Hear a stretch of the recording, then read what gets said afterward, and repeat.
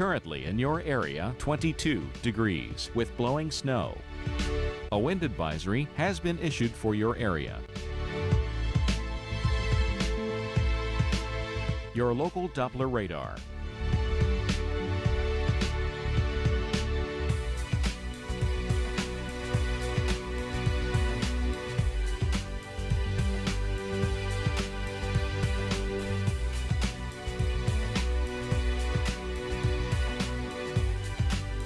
For tonight, windy, snow showers ending early, colder, low 14, chance of snow 30%.